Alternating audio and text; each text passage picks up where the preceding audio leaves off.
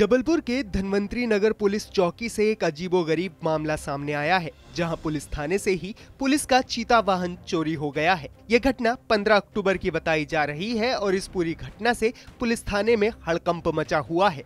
ये दो पहिया चीता वाहन पुलिस द्वारा शहर में अपराधियों की रोकथाम और त्वरित कार्रवाई के लिए इस्तेमाल किया जाता है, लेकिन पुलिस की अपनी सुरक्षा में चूक के कारण ये वाहन अब चोरों के हाथों में चला गया है।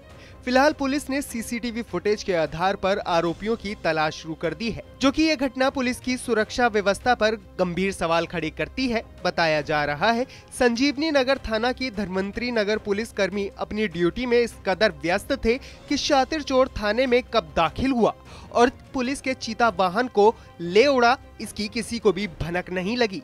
लेकिन अब ये पूरी घटना थाने में लगे सीसीटीवी कैमरे में कैद हो गई है। ये धनवंतरी नगर चौकी में रात्रि गश्त के बाद एक वाहन चीता जो मोटरसाइकिल होती है, वो मिसप्लेस्ड है मिसिंग है। सीसीटीवी फुटेज में देखा गया है, एक व्यक्ति पहचाना गया है जो उसको लेकर चला गया है।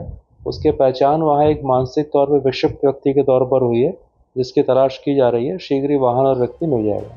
सीसीटीवी फुटेज के आधार पर पुलिस को चोर की पहचान करने में मदद मिली है, लेकिन चोर अभी तक पुलिस की पकड़ से बाहर है।